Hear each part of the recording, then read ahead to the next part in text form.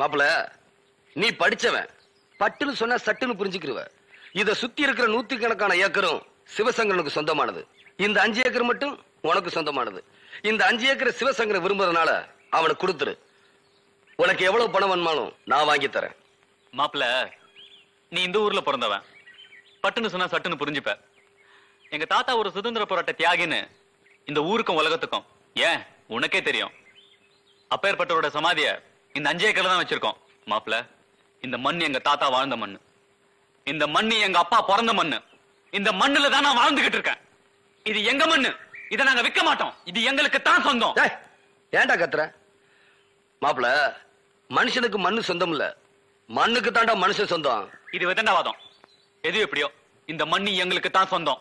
மாப்பிள தர முடியாதுன்னா போக வேண்டியதுதானே ஏய் ஆம்பளை பேசும்போது பொம்பளை குறுக்க பேசணும் தங்கச்சி நீ சுமாருமா சுயபுத்திர பேசுற ஆம்பளைக்கு என்ன நியாயம் தெரியும்?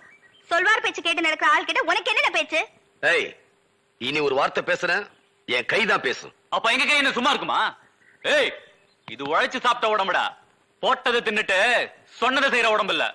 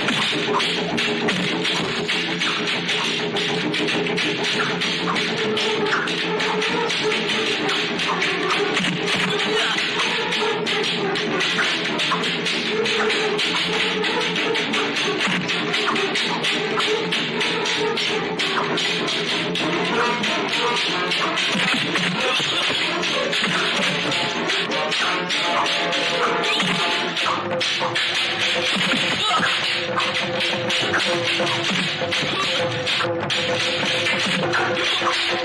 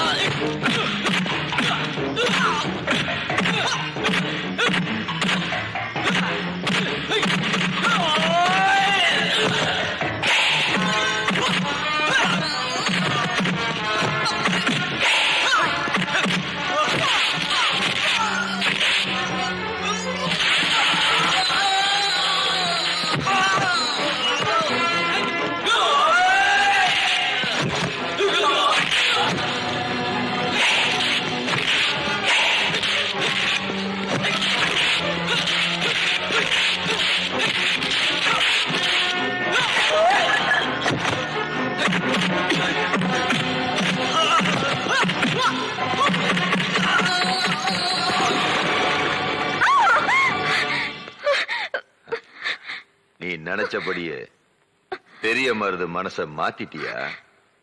நானும் அப்படிதான் நான் ஆசை வச்சத அனுபவிக்காம விட மாட்டேன் என் உடம்புல உசுறு இருக்கிற வரைக்கும் என்ன நீ தொட முடியாது. என் மச்சான் கையால தாண்ட உனக்கு சாவு. அடிப்போடி. உன் மச்சானோட முடிவை எழுதிட்டு தாண்டி இப்ப ஒன்ன ஒரு வழி பண்ண இங்க கொண்டாந்து இருக்கேன்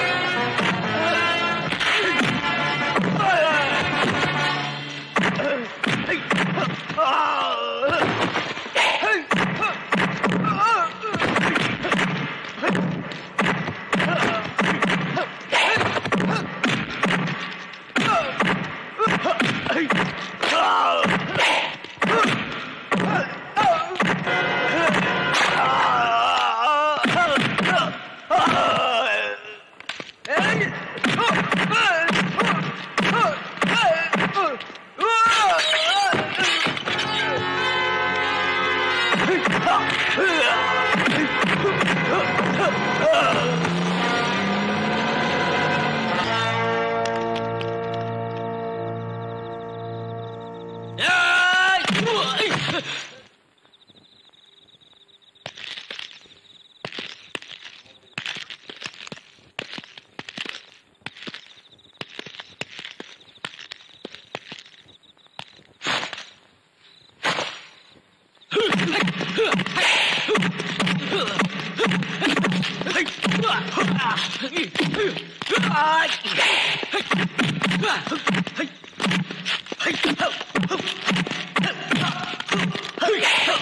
ஏய்,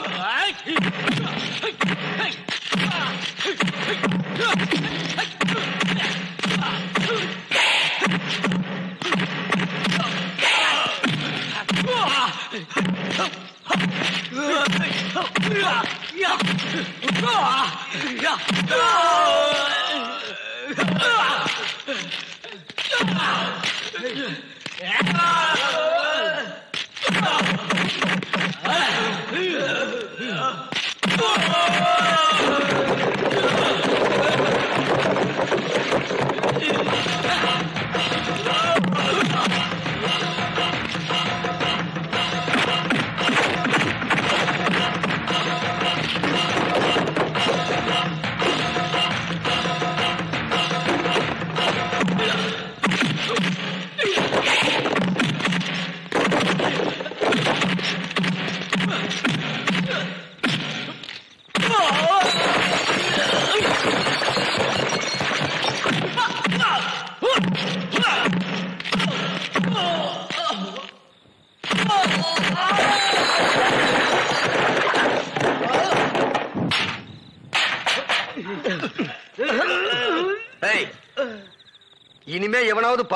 பதினெட்டு சுத்து வட்டாரத்திலையும் சாராயம் காய்ச்சினாலும் சரி குடிச்சாலும் சரி. வெட்டி புடிய வெட்டி. போங்கடா. இனிமே இங்க பள்ளிக்கூடம் தான் நடக்கணும்.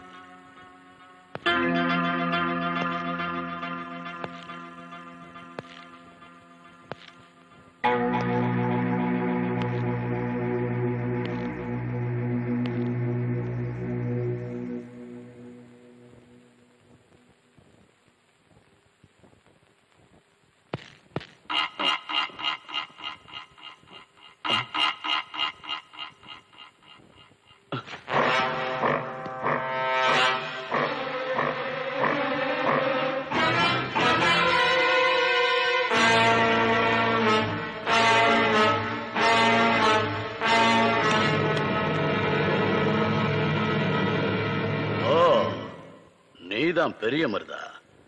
இங்கேயே வந்துட்டியா ரொம்ப தில்லான ஆள் தான் நீ. என் மேல கை வைக்க தானே வந்த? உண்மையிலே நீ வீரனா இருந்தா. என் முதுக தரையில பட வைப்பாக்கலாம் நான் வீரனா இல்லையான்னு இந்த நாட்டு மக்களுக்கே தெரியும். இப்ப நீ தெரிஞ்சுக்க.